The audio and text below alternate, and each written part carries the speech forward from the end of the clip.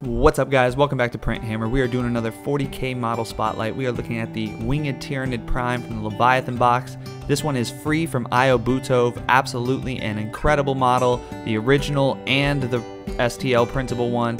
Easy to pose, uh, definitely need to trim that with the X-Acto knife. It doesn't have those smooth wings that you can just sand, so you're going to need to trim it with the gloves on before you cure it. The model itself has a decent profile for low points cost, but obviously it's going to need to be leading a unit to find combat.